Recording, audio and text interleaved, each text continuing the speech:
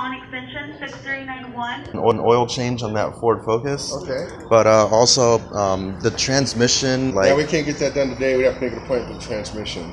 Yeah, because it, it, it's slipping out of gear. It's it gets stuck in first gear. I, I redline at 7,000 RPM. It goes 30 miles an hour.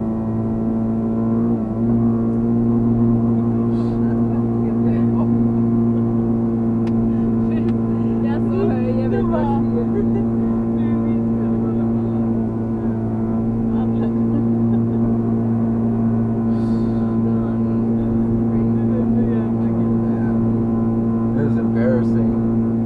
It's- I, I- know all about the defect of the transmission. I wish I would have known that when I bought the car, but it's just it's really bad. It's really dangerous. But for right now, I at least need to get the oil change, and then we'll find out about the transmission, I guess. Well, when we get done, we can set the appointment for you. Okay, for sure. Yeah. We have a transmission man. Oh, okay. I, I mean, I, not like we're, that buried. Yeah, I- I'm pretty sure it's going to need a the, the TCM reflashed and new clutch and everything, and then it's probably going to break again because they're defective. So, I'm sure you guys get a lot of complaints about them, huh? Well, believe it or not, we get complaints, but we've never changed one. Really? A transmission, no. We've done Oh. modules, we've done updates, Yeah. but the transmission themselves never gone out on the cars. Huh. Because I, I've actually read stories online of like people like going maybe not this dealer, but other ones that they end up getting the whole transmission ripped out and replaced under warranty, and then they drive off the lot and they're like, it's still fucking. Oh no, us." well that's that's a characteristic of the transmission. well, That takeoff, well, yeah, there's a whole. Wow, I but- got a whole, I well- got a whole thing from Ford on that. Well, yeah, but but not staying stuck in first gear at No, no, no. seven thousand Oh, that's not- you RPM. been here before, Brian? um, well, I, I came here before once, but they couldn't do the oil change, so this is actually my first time actually Oh, okay. like getting No, no, actual service. So I'm just waiting for the dealership right now to do an oil change on the car. While I was over here at the shopping center, notice this uh, RV over here parked by Kmart, and I wanted to do a quick video about it um, since I've been doing a lot of videos about RVs lately. And also last night there was another RV. I was kind of driving around looking for a place to park and take a nap at, and I wasn't really sure where to park at, and found an RV, and I was just like, okay, this looks like a good enough spot. Seems like a safe enough place, you know, because usually all these people that are living in RVs that they already have the good spots kind of scoped out and whatnot, and they're already at them. So I just figured I'd go pull up behind this RV and kind of dream a little bit, you know, kind of hope and dream. You guys have no idea how badly I was wishing that the key to that RV was on my key ring so that I could just like walk up to it after I parked right behind it, just walk right up to it and open the door and just spread out on the bed and just, you know, get a good night's sleep instead of sleeping all crammed and uncomfortable and with no privacy and constant noises and lights and all that bullshit. I mean, I'd be able to be so much more productive if I could just get a good night's sleep without like all that shit.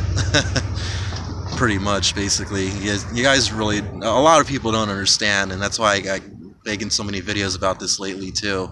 I'm just trying to get this out there, just trying to vent and get the shit off my chest, and hopefully maybe get some help to get this RV. Yes, I'm sure if I continue and she over here helps keep me motivated and happy and positive, that I will end up getting the RV on my own, regardless of what happens. But it's just if I, you know, if I'm trying to do it on my own, it's just going to take a lot longer. And that's just going to be more months and months and months of sleeping like shit and with no privacy and just losing my fucking mind. Like, try to put yourself in my shoes for a minute. Like, for those of you who don't understand or like to criticize and judge me, it's hard to, to put it lightly.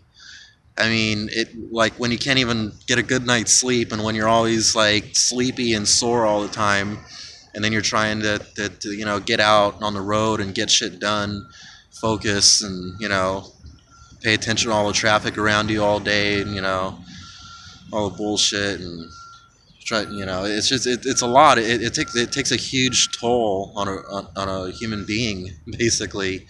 It, it's just uh, yeah and i mean like uh, unless you're actually living the situation it, you're just not gonna understand. I mean I, I know i keep saying that but it's really true. Like you, really do truly have to live the situation to know what i'm talking about.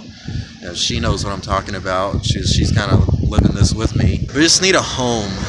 Really fucking bad. A home.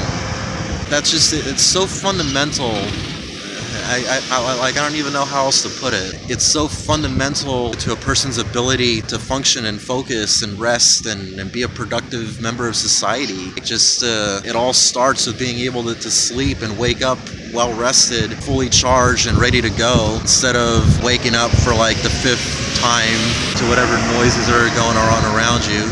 Waking up with your eyelids still heavy and not really wanting to get up, but then trying to tell yourself like come on, it's like time to get up and go to work. So then I just try to go and push myself and drive as much as I can until I get sleepy again and back to sleeping like shit for a little bit.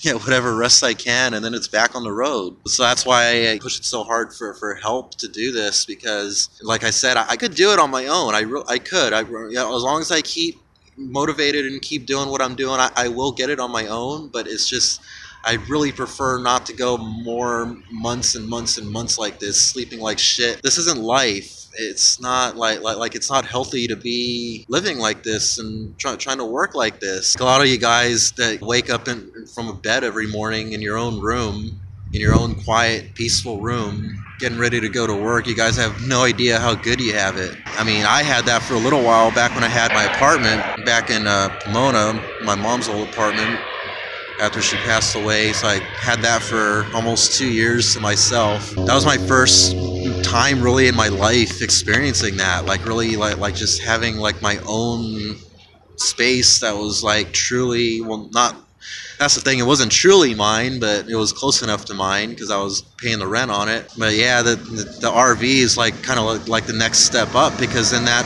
really truly will be mine and uh, you know i won't have to worry about any landlords getting pissed off if I decided to paint something a different color or drill a hole in the wall or you know all that kind of stuff you know? And there's going to be drilling because i'm going to be installing solar panels and wiring and all that kind of stuff. And i'm going to want to like do some painting change the carpeting or whatever and i'm not going to have a landlord to answer to. So that's what's really exciting about the rv life and why i want to do this so bad. It'll finally give me so much freedom to, to just do what i want and live my life and and not be a slave of a landlord paying all, all this extortion money basically every month just for the privilege of sleeping in borrowed property. And then the minute that I lose that income it's back to the streets with nothing to show for it as I was touching on in my previous video about renting being a scam if you haven't seen that go check it out so anyway I just thought I'd leave you guys with that I don't want to make this video too long so um, leave your comments down below. Give me a thumbs up. Subscribe to my channel if you haven't already. And yeah, that's it.